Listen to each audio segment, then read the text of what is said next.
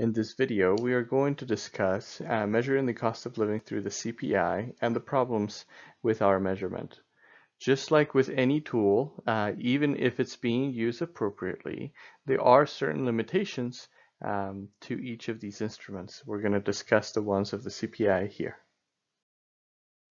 Economists have identified three problems with the CPI that leads uh, the CPI to overstate inflation, meaning that it is measuring more inflation than households are experiencing.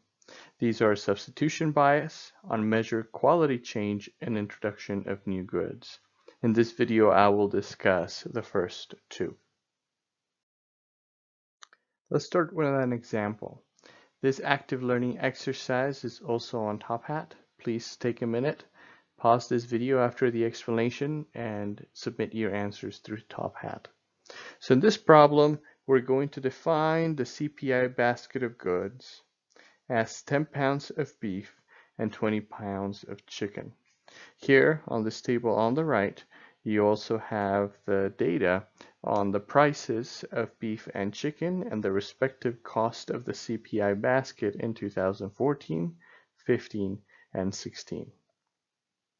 I want to remind you that we care about the base year, and in this case, the base year is 2014. Now, according to the scenario, in 2014 and 2015, households bought the CPI basket, but in 2016, households bought a different combination of chicken and beef. As you would have noticed up here on the top, the prices of beef increased significantly more than the prices of chicken from 2015 to 2016. So households changed their behavior by buying a different combination of beef and chicken. So for this exercise, what I would like you to do is I would like you to compute the cost of the 2016 household basket, meaning what they actually bought. And then I want you to compute the percentage increase in the cost of the household basket. Um, what I mean by that is what households actually bought. And then compare it to the CPI uh, inflation rate that we calculated in the previous video. If you need a reminder of how to do that, please uh, go ahead and review it now. All right, to compute the cost of the 2016 household basket. What we're going to do is take the prices from our table. It's for beef. This is for chicken, respectively. And then we're going to take the numbers for how much beef households bought, how much chicken households bought. That gives us a total expenditure of $195 for the 2016 household basket. To calculate the percentage increase in the cost of the household basket over 2015 and 2016, we have to first uh, calculate the cost of the basket in 2015. Now, according to the scenario, households bought the CPI basket in 2015. So we can just look at this value right there and use that to compare to the um, cost of the household basket in 2016. So using our percentage change formula, and here times 100, we find that the cost of the basket that households actually purchase increased by 30%. From the previous video where we calculated how much the inflation rate was as measured by the CPI, we can see that the CPI uh, measured a 40% increase in the cost of living. So this is what we mean when we say that the CPI overstates uh, inflation. Real inflation, what households experience, is 30%. But what was measured by our instrument was 40%. And because what is measured is bigger than what actually happened, we say that our measure CPI overstates inflation. Now let's talk about the second problem unmeasured quality change. When the first iPhone came out, it started the category that we now know of as smartphones. Now let's suppose that the BLS uh, defined the smartphone category um, basing it on the iPhone. Now, if that is true, both of these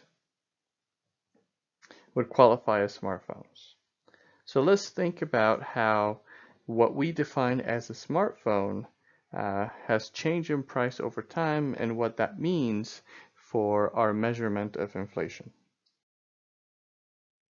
The original iPhone came out with a sticker price of $500. This new iPhone came out recently with a price tag of $1,200. So if both of these are defined as a smartphone,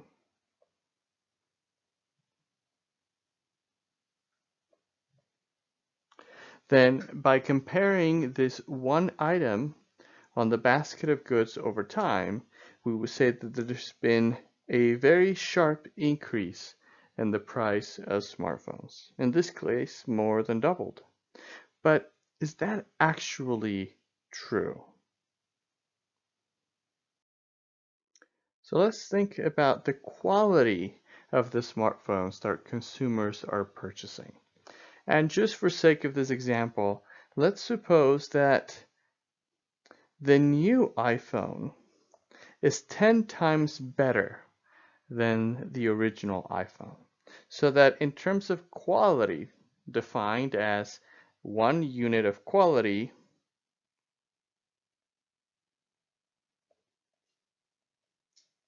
equals an original iPhone, then what we could say is that the new iPhone is 10 times the quality or 10 times the smartphone as an original iPhone.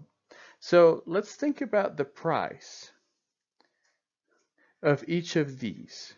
If we are de uh, defining the price as per unit of quality, then the original smartphone here, the iPhone, um, would be $500 per unit of quality. If we do the operation by dividing the cost and adjusting it for the quality,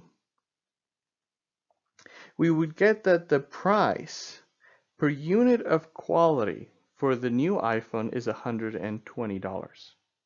So if we adjust for the quality of this product improving over time, what we see is the opposite of what we concluded previously.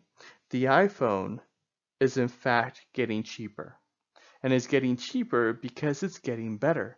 And the services and products that we actually get from that iPhone is so much better than the original than if we're just looking at the category smartphones without accounting for the change in quality, we would be overstating inflation. Again, overstating means that what the CPI measures is greater than what households experience.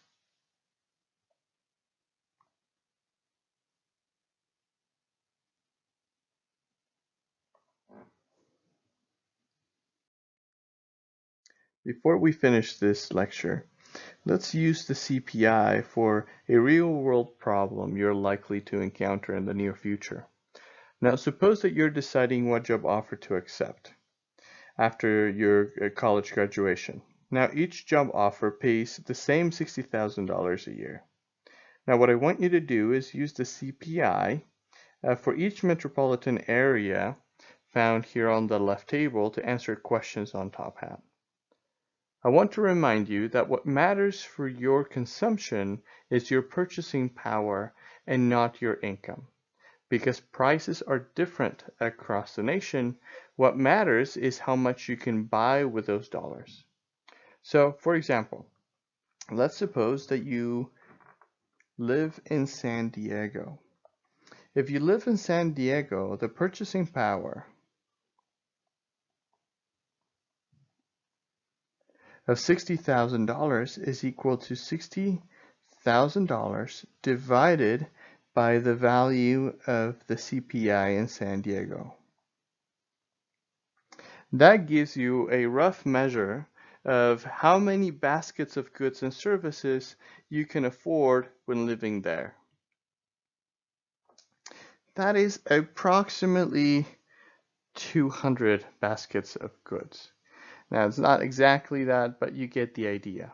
Now what you can do is you can compare the purchasing power across different metropolitan areas and the amount of income being offered in each of them uh, to see which one is better in terms of purchasing power. Now obviously there's a lot more to choosing where to live than your purchasing power, but that ought to be one of the major uh, characteristics that you look for in a new city.